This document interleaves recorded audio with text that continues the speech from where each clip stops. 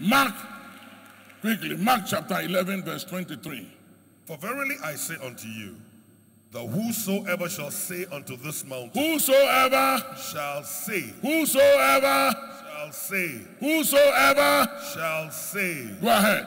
shall say unto this mountain, Be thou removed and be thou cast into the sea, and shall not doubt in his heart, but shall believe that those things which he saith shall come to pass. Those things which he, Saith, those things which he, saith, uh-huh, shall come to pass. He shall have whatsoever he, he shall have whatsoever he meditates.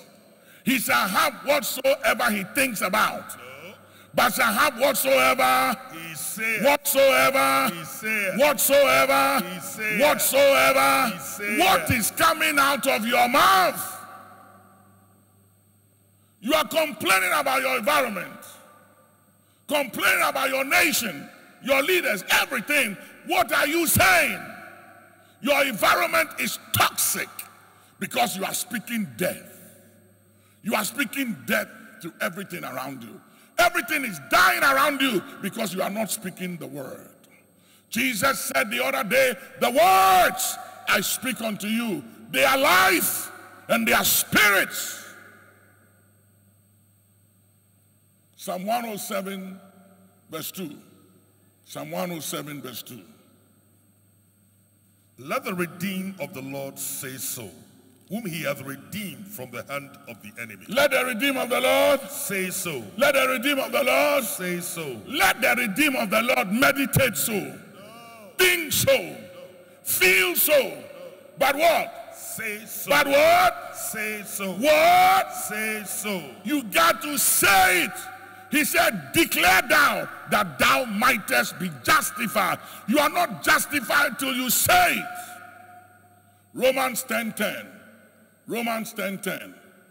Romans 10:10. For with the heart man believeth unto righteousness, Uh-huh. and with the mouth confession is made unto salvation. With the mouth, Confession is made. with the mouth. Confession is made. Talk to me with the mouth. Confession is made. So it's not enough to believe. Even demons believe.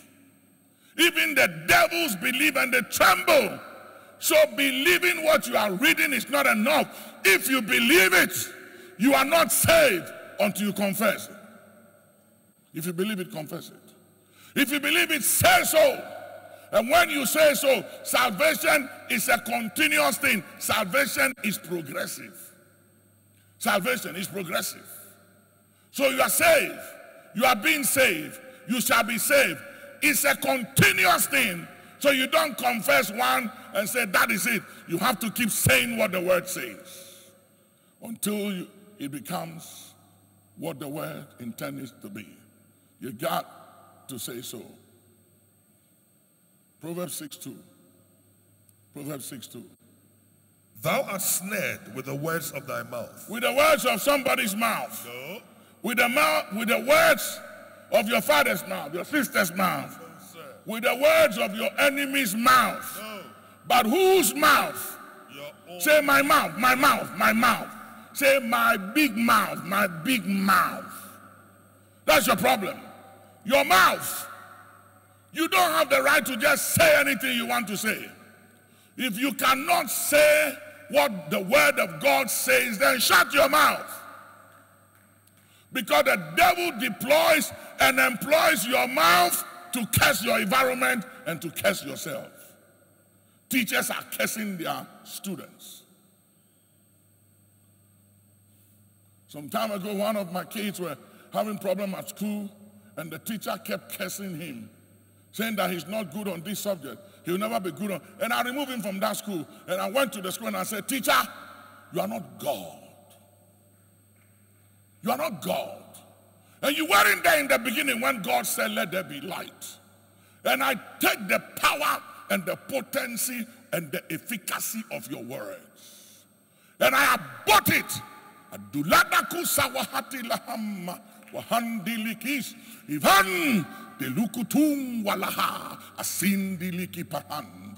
I break the effect of these words. I took him out to another school. He excelled in that same subject. When he graduated, I took him back to that school and told the teacher, I told you you were wrong. And I said, I know you can read. Read and see his result. The same subject you said he will never excel in, he excelled in it. Any teacher, any master, anyone that has spoken a curse word over you, let it break in the name of Jesus. Let it be repealed in the name of Jesus. And if you have spoken a self-imposed curse over yourself by your own words or by your children, your loved one, your church, or your nation, let it be repealed in the name of Jesus. Say, I repeal, repeal. Put your hands together say, I repeal it. I repeal. In the name of Jesus, say amen. Thou art Snare. snared with the words of your, thy mouth, by the words of thy mouth. and thou art taken with the words of thy mouth. You are captured by your own words. Say, I break out. Say, I break out of every snare and captivity by the words of my mouth. Say, I untie myself. I disentangle my life, my children, my wife, my husband, this house, my nation. I disentangle my destiny as a result of words of my mouth. What is it that you are saying? If you don't have anything to say, shut your mouth.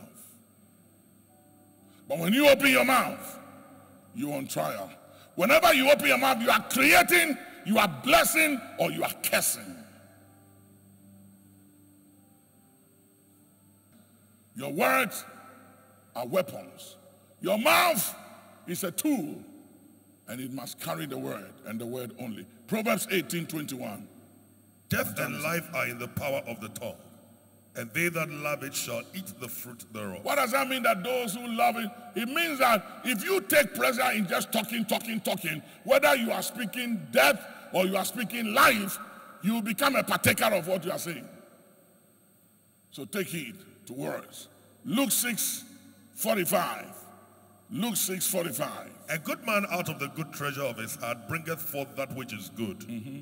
And an evil man out of the evil treasure of his heart bringeth forth that which is evil. Mm-hmm. For of the abundance of the heart his mouth speaketh. So whenever you speak, what is in you is listen, I know who people are. I can wait. I don't need revelation. I don't need discerning of spirit or word of wisdom or word of knowledge. I can tell people's level of spirituality when they are under pressure or when they are stressed out or when they are in pain or offended or afflicted. When they start talking, I can weigh them easily and tell where they are. I'm telling you. I can. And I'll show you why. Come with me. Out of the abundance of the heart, the mouth speaketh. Look at this scripture.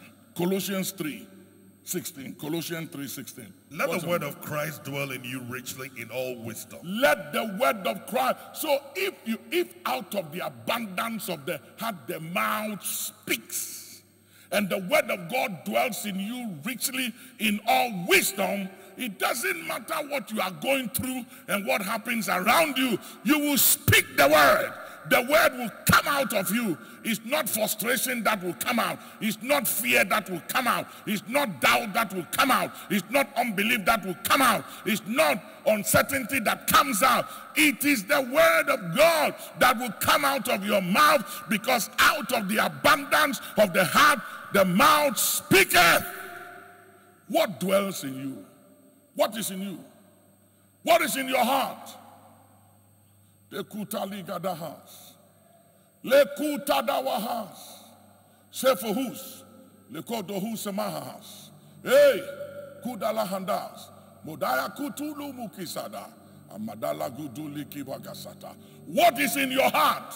What are you speaking? Your words count. Your mouth is for the word of God, not for your feelings or your ideas, but for the word of God.